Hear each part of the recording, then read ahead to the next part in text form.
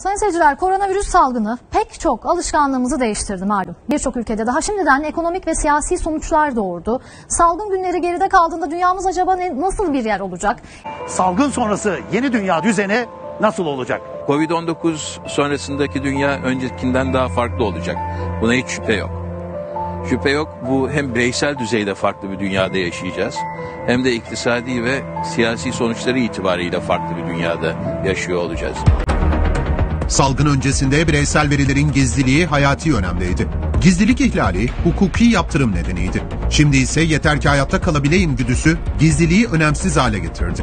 Covid-19'la birlikte e, vücut ısısı ölçme cihazlarından aşı pasaportlarına, ilaç kullanım e, düzeneklerinden herhangi bir binaya girip çıktığınızda bir kodla bunu bildirme zorunluluğunuza kadar bireylerin bütün alanını, bütün hayatlarını kontrol edilebilir bir şekilde, e, sistemli bir şekilde, takip edilebilir bir şekilde e, kurmaya yönelik bir sistemin geldiğini görüyoruz.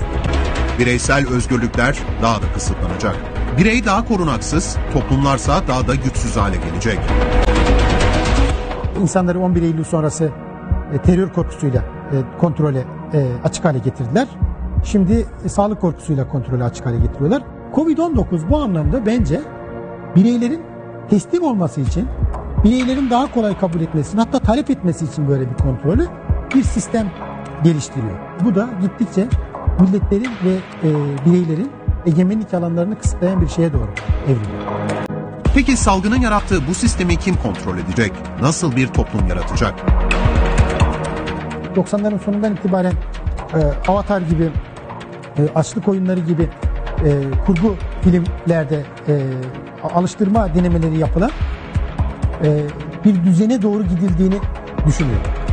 Küresel yüzde birin e, üretim, tüketim ve e, beğeni ağlarını kontrol eden bir e, seçkin grubun, bir e, elit grubun, bir güç elitinin e, dünyayı kontrolüne zemin hazırladığını e, düşünüyorum. Ücretler, işte yaşam biçimleri, yaşam coğrafyası bütün bunların seçimi konusunda da inanılmaz ölçüde radikal bir takım değişiklikleri getiriyor.